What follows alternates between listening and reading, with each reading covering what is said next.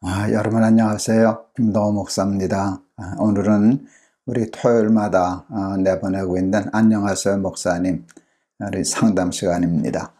어, 우리 날마다 기막힌 새벽 어, 하나님의 말씀 하나하나 이렇게 공부하는 것도 참 좋은데 우리 토요일 날 이렇게 우리 날개새 친구분들이 신앙생활 하다가 좀 의문이 있거나 하는 것들을 질문해 주시고 또 거기에 대한 대답을 하면서 나누는 이 시간도 어, 얼마나 좋은 시간인지 모르겠습니다. 여러분이 사랑해 주시고 또 많이 관심 가져 주셔서 참 감사합니다.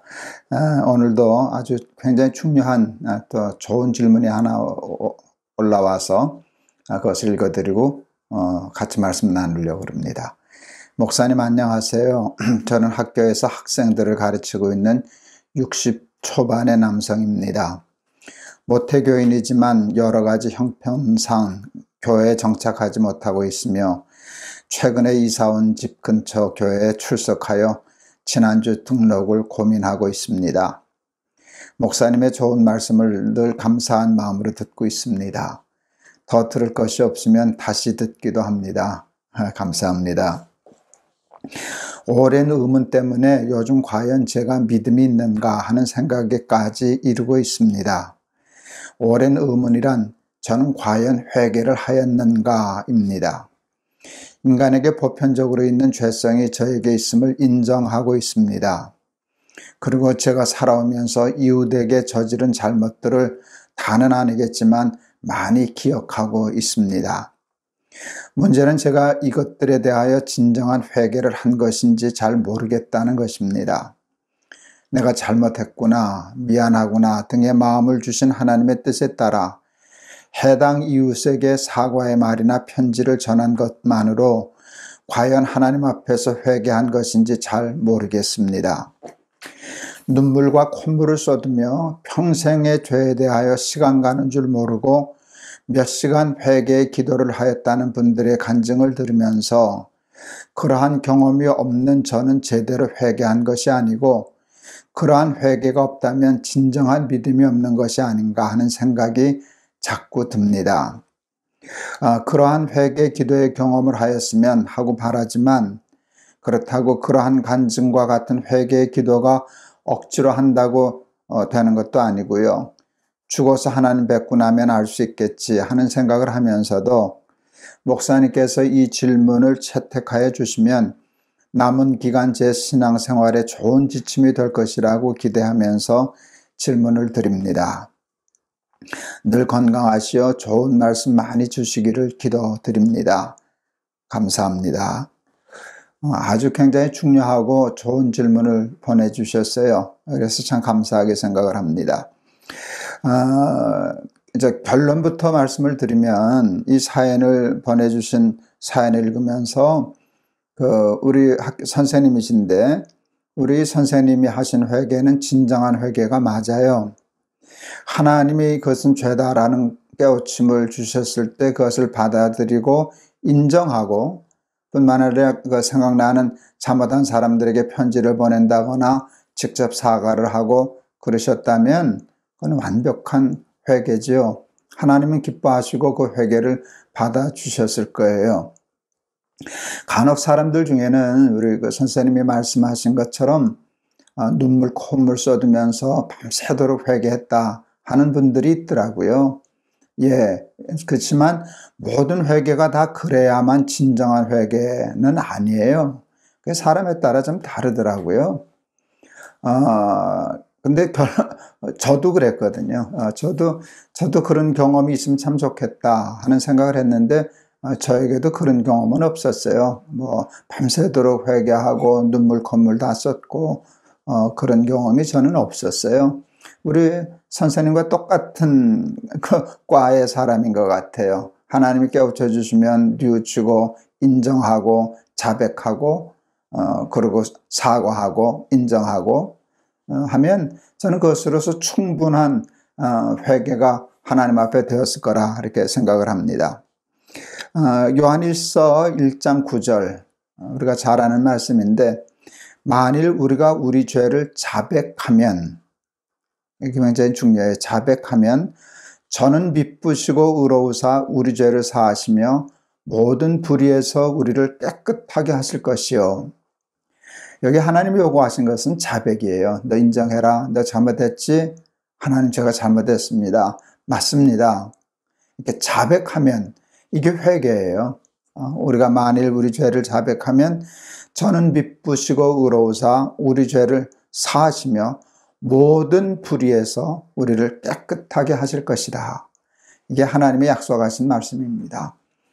어, 이제 성령으로 거듭남에 대해서도요, 사람마다 체험의 강도나 그 종류가 좀 다르더라고요. 어, 떤 분들은 너무 그게 강력해서 내가 언제 성령을 받았고 언제 거듭났는지 날짜와 시간과 장소를 기억하고 간증하는 분들이 있어요. 바울이 그 중에 한 사람이겠죠. 바울은 어, 담에색으로 예수 믿는 사람 핍박하러 가다가 그 담에색 도상에서 그 하나님 만났잖아요. 그러니까 사울은 바울은 분명히 그 날짜와 시간을 기억할 거예요. 근데 모든 사람이 다 그렇게 성령 받는 건 아니거든요. 그냥 이렇게 어, 가랑비에 어쩌듯이 이렇게 해서 변화되는 사람도 있고 자기도 모르는 사이에 거듭나서 하나님의 사람이 되어 있고 하는 그런 사람들도 있어요. 예, 또 얘기하면 어, 저는 언제 몇 날 며칠 그렇게 성령 받았다 거듭났다라는 그 간증 못 하거든요. 저는 스며들어서 음, 성령에 스며들어서 자진비에 스며들어서 전 거듭났다고 생각하거든요. 제 사고방식과 가치관과 삶의 중심이 온전히 하나님이기 때문에 그게 거듭난 거거든요. 근데 저는 언제 어느 시간에 그렇게 내가 변했는지는 몰라요. 그러나 제가 변한 건 틀림없거든요. 그래서 그게 꼭 사람마다 다르니까 그것만이 성령 받은 것이고 그것만이 그렇게 하는 것만이 회개한 것이다 라고 너무 지나치게 강조하면 그건 굉장히 위험한 생각이고 그건 하나님의 온전한 뜻을 도리어 방해하는 일이 되리라 생각합니다. 하나님의 속죄는 완벽해요. 하나님의 속죄는 완벽합니다. 제가 날기사 하면서 마태복음 할 때 예수님의 족보 얘기를 했어요. 마태복음의 족보에는 그 당시 유대의 전통을 따라서 여자 이름이 없지요. 누구는 누구를 낳고 누구는 누구를 낳고 그럴 때 여자 이름이 없는데 어, 예외적으로 몇 여자의 이름이 있지요. 다말, 라합, 룻, 바세바. 네 여자의 공통점은 다 비정상적이라는 것이에요. 다말은 시아버지와 관계에서 자식을 낳은 사람이고요. 라합은 기생 창기였고요. 룻은 이방 여자였고요. 그 당시 이방 여자는 창기만도 못했거든요. 음. 그리고 바세바는 여러분 아시는 것처럼 그 다윗이 우리아의 아내를 빼앗아서 어, 난 솔로몬이잖아요. 그게 바세바잖아요. 그런데 바세바는 바세바 이름도 쓰지 않았어요. 다윗은 우리아의 아내에게서 어, 뭐 솔로몬을 낳고 이렇게 나오지 않습니까?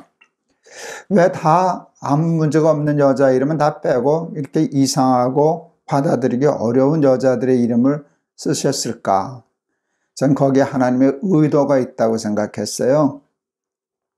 하나님 앞에 회개하고 돌아선 사람은 하나님이 기억 안 하신다는 거예요. 다말도, 라합도, 룻도, 바세바도 하나님 앞에 회개한 사람은 완벽한 속죄가 이루어지는 것이. 저라면 바세바 용서 회개하니까 용서했을 거예요. 그러나 다윗의 아들이 솔로몬만이 아니니까 이왕이면 다른 아들 중에서 왕을 삼지 바세바의 아들로 왕을 삼지는 예수님의 족보에 넣지는 않을 거예요.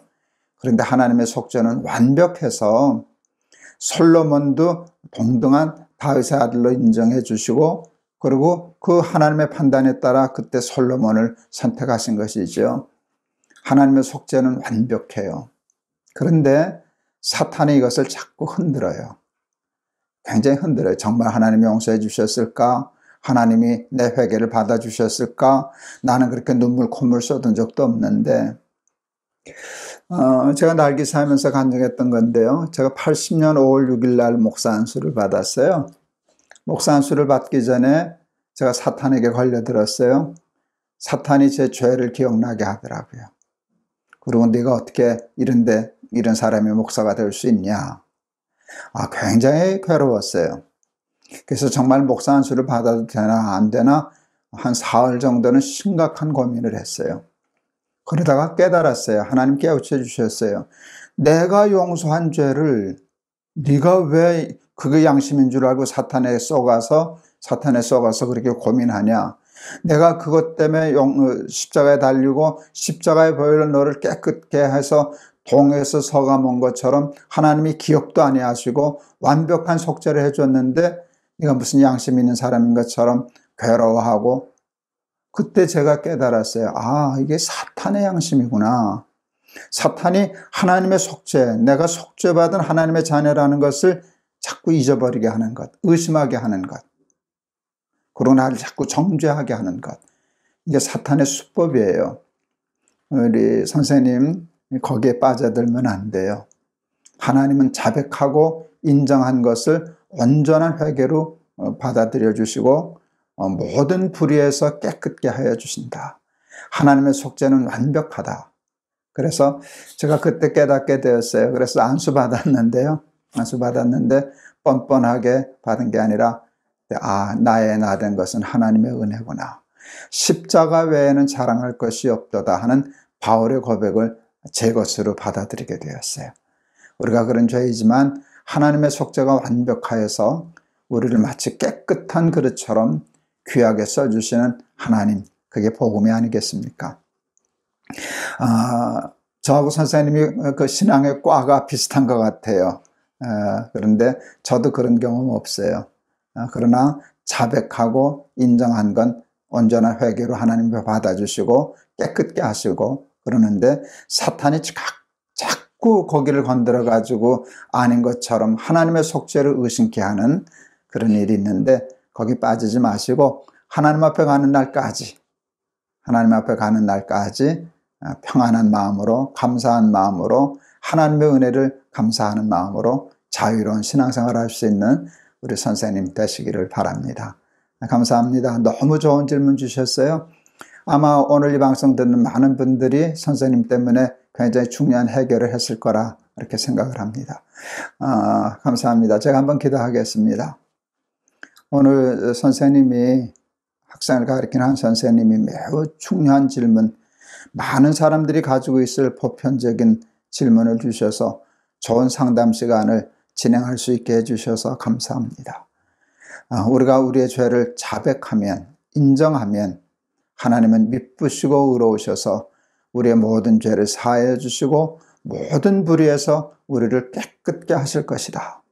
하는 말씀이 우리 오늘 우리 선생님에게 주시는 같은 의문을 가지고 있는 사람들에게 하나님 큰 하나님의 답이 될 수 있게 하여 주시옵소서.